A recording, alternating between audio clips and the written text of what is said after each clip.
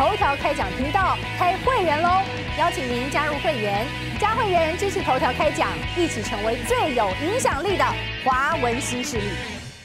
我想这个事情上，呃，假若我这执着在甘乃迪的这一句话的话，嗯，可能我们会见小不见大。哦，我们应该从大一点来看，是什么叫做大国责任？尤其核武大国的责任是什么？嗯，核武大国的责任叫做共管分歧。嗯，假若这核武大国都不去共管分歧，哇，你你也有核武，我也核武，是，然后我们互相丢，全世界核武最多的不就是美国跟俄国这两个吗？嗯，所以这两个是要有责任去共管分歧。今天我们来看看是。拜登是在共管分歧，或是在不断的烧火。你看，俄乌战争一开始的时候，不是马上就进行和谈了吗？和谈马上就破局。然后每一次几乎都有和谈的迹象出来了，然后就破局。全世界都看得很清楚，美国在打鸡血，给责任司机打鸡血，给责任司机了这个迷迷幻料，给责任司机拍拍手放烟火。那责任司机就像当机一样啊，就要跳起来。想想看。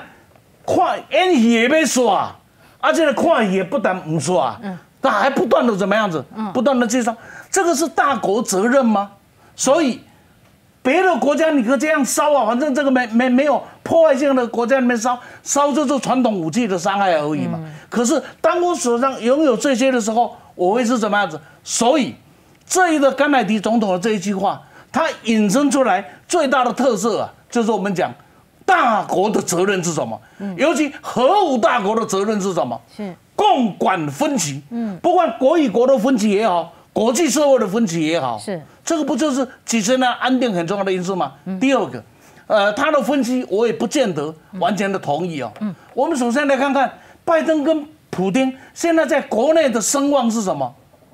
普京的声望是八十一趴，哎，拜登的声望是摇曳，这个这个摇摇欲坠。其中选举全部看衰，哎，二零二四没有人看好，哎，也就是说，一个在国内的声望上，他今天是英雄，不管世界上怎么看他，至少他的他会不会做下去，是国内能不能把他推弯嘛？嗯，他现在国内是稳固的，嗯，你呢是在摇摇欲坠的，摇摇欲坠处理一个俄乌，你已经够头大了，你现在还准备来中国再来拱火，嗯，为什么？因为他想救沈晴。嗯，那就选情为了选举，这些政客为了选票，什么事干不出来，又忘记了大国的责任是是要共管世界的分歧。嗯，可是美国今天是到处在怎么样子，在拱火，在制造分歧。嗯，这个就是今天美国啊，他必须面对的世界责任是非常非常的令人摇头叹息啊！我以为他们从此要做真小人了，还是回去当伪君子。嗯，什么叫伪君子？是说一套做一套，嘴巴说的漂漂亮亮，然后底下干的时候乱七八糟，龌龊臭臭。我我们就先从一个例子来看就好。就以呃拜登上台了之后，习近平跟拜登的四次的通通话，两次的视讯，两次的通话。这视讯里面，美国是怎么说的？美国是要管控分歧呀。嗯，那最大的分歧在哪里？最大的分歧就是在台海啊。那美国是管控。或者是山火，嗯，大家看得很清，美国是来山是来山火的嘛，是吧？美美国不是摆明了这个四部吗？四部里面有一个叫做不支持台独吗？那也是你说的，才不过几个月，嘴巴还没干，然后就怎么样子，就白纸黑字登出来了。出来了以后，各位你会发现很诡异的现象。哦，第一个，民进党没有兴奋。是，照到民党应该很兴奋才对啊。嗯，民党没有兴奋。嗯，为什么没有兴奋？执政者感受到的压力跟在野党是不一样的。哦，今天民党要是执政是在野党，你看着办好了。嗯，哇的那就是敲锣又打鼓了。嗯，因为他今天是执政党，他马上感受到那种来自各地的第二个中国大陆没讲话。嗯，除了这个这个哪里呢？这个这个呃。外这这外外交记者外外交发言人他讲的是这个话也不过是当时在拜登跟这个习近平的通话里面呢，拜习通话里面习近平讲的话，这个你们有些人这样的做法下去，那是会玩火的，这个会引火烧身。也不过这句话再重新回来再讲一次而已。然后中国大陆呢也不说话，那时候记得我们就说他们会让子弹飞一下下，对，民民进党一定接到了美国很大的压力。哦，这这现在能够让民党听话的全世界只有谁？就就美国嘛，啊，另外一个是大陆真实的压力嘛。但是大陆真的有时候对他来讲是还还还是注了鸡血呢。哎所以呢，对他来讲，美美国美国为什么？没有发现这个东西出问题了。哦，所以会马上叫这两个官员，嗯这个坎贝尔也好，或者是这个国务院的发言人这个都代表他的政府的一个态度嘛。对，那现在我们就要来看，那什么时候把这白纸黑字给划掉？嗯，那美国会不会画？美国大概不会画，因为画实在是太丢脸了。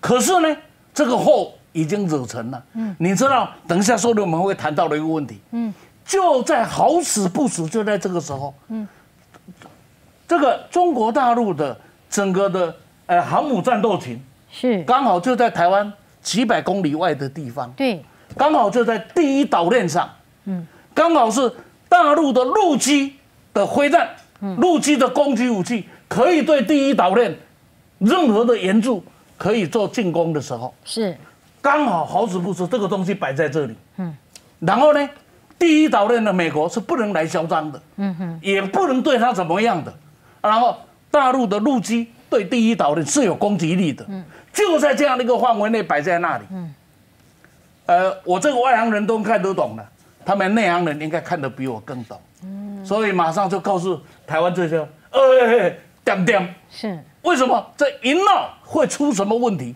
谁都控制不住。更重要的是，美国没有能力去控制那个已经摆在那里的事情。嗯嗯。所以让子弹飞一会儿，嗯，我们就来看看美国怎么处理这个问题。然后中国大陆绝对不会点点的，嗯，因为这个是涉及到你，你不管你的底线是不是收收回去的，你已经踩了我一脚，虽然你把脚收回来了。那那一句对不起还没有收以前呢，嗯，这个问题是怎么做？这就是大国博弈。我也再重新的我讲讲，这叫做大国，嗯，世界的责任，嗯，管控分歧，而不是到处煽风点火。这马对。这个就要来了，是那那美国是又切了一小块香肠啊，是是。这样子啊。嗯，那但是呢，这事情会不会善了？因为你已经踩了我一脚了。哎，会不会善了？那我们就看着。那不过大伙在大陆在这方面的表现，也不会像某些人讲啊，马上就这样跳档机有没有？不会的。嗯，他的战略定力，这一定要这样的看中国大陆的问题。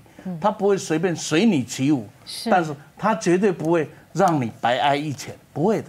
这这样子，我我先补充一下，就刚才讲今年的这个部分，我只最是简单的一句话，是，就是说两个部分，各位看得到的都是演给你看的。好，我看到是演给你看，他真正要对台湾怎么做的，是你是看不到的。也不要忘记，大陆的航空母舰辽宁号、山东号是训练训练训级的训练级的，真正未来的战斗力会是零三以后才开始。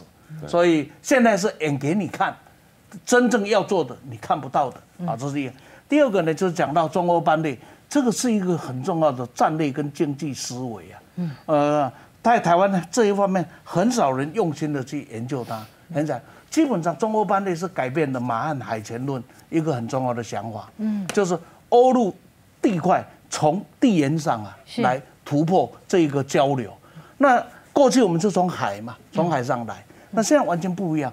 中欧班列开始开航的时候，大家是看衰啊，嗯，而且是载着货物去还补贴啊，是。那回来是空车啊，是。回来没没有东西载嘛。现在不一样，嗯，现在每每天是用数百列在进行着，嗯，啊，可是因为俄乌战争呢，确实也让中欧班列啊稍微受到了挫折，嗯，但是中欧这个战争不会永远下去嘛，是。这还是会回复回来，因为它太给了太多分配。不止这样子，我再举个例子，因为中欧班列的开拓啊，使得新疆的地位发生了很大的改变。提升，都像刚才我们讲的阿拉善口，它就是要从这边过去的。嗯嗯。那新疆呢是重要的原物料的产生地，比如说过去我们讲棉花、讲羊毛，那怎么办呢？棉花嘛生产之后要送到这个海的东边的海岸这边来啊，这是沿海的省份呢、嗯。经过加工产品，然后再用海运呢、是出去，对不对？是现在不用了，现在的很多相当的作品上就是利用新疆的原物料，就在新疆里面加工生产，然后呢，沿海的各省的母公司设计，按照这个设计的去生产，然后即刻就从可以这里就可以出口到欧洲。嗯，那不只是距离缩短了，更重要的改变了整个的新疆的经济生活形态。嗯，这个是维吾尔人一辈子不会想到的经济生活形态嘛。这个就是整个的西的这个这个改变哦。嗯，所以看，呃，整个的中欧班列一定不能只有从经济的角度来看，嗯，必须要从。整个的欧亚大陆的一个战略的角度啊，来看它，呃，现在可能它还在起步，可是将来所扮演的角色啊，会越来越重要。嗯，比如说台风，它就不受影响。是，举个例子，它就它完完全可以可以来来进进行的整个的经济的会会很大的会很大的改变。这个细细的问题，我们我们看谈一个大事，嗯，那就是这一个，呃，川普当时曾经讲。美国的企业能够回来，回到美国。我当时就跟他讲说，就这样子看两家，一家叫苹果，这个够大了吧？对。一个叫特斯拉，是这个也够大了吧？这两家什么时候回去有没有？哎，那美国的企业就会回美国了。那就是指标啊，那这是指标。那你看什么时候牛年马月会发生？嗯，不会。比如说举个例子，特斯拉之所以能够留在那里。绝对不只是因为中国的工人的问题，当然是整个的原料产业链。对，它的电池，它的原料产业在全世界车用电池最大的就是中国大陆嘛。是，所以你可以看呐，你看以前日本的汽车多嚣张，可是丰田跟比亚迪的合资新厂是五十对五十。嗯，什么叫五十对五十？因为我需要你的造车技术。可是我需要你的新能源条件，是不止这样，跟宾士也是五十对五十啊。嗯，那比亚迪跟这些厂比起来，嗯，那真的是啊，大人跟小孩啊。那为什么可以说？因为我拥有，所以特斯拉不会走的原因，第一个有产业链的供应，嗯，第二个中国的工程师跟工这个工人的水准是是吧？素质高，素质高，而且。吃苦耐劳啊，嗯，因为至少现在中国大陆还停留在我们当年年轻的时代啊，五级汤汤呐，报没有加加班嘛，别的，嗯，半夜加班也小孩子不一样了，嗯。那那已经已经就有钱可以赚嘛，半夜加班也做给你啊，嗯，那当然现在年轻一代是不一样嗯，但是还是这样的一个情情境嘛，是，所以从这样的一个角度来看，呃，整个中国大陆的。这一个疫情，尤其上海有没有受伤？绝对有受伤。嗯，那么它是长远的，或者是一个断线的阵痛，这是一个阵痛，或者是一个断线。当然，从上海人的角度来看，很讨厌，很不舒服，很埋怨，这都是合理。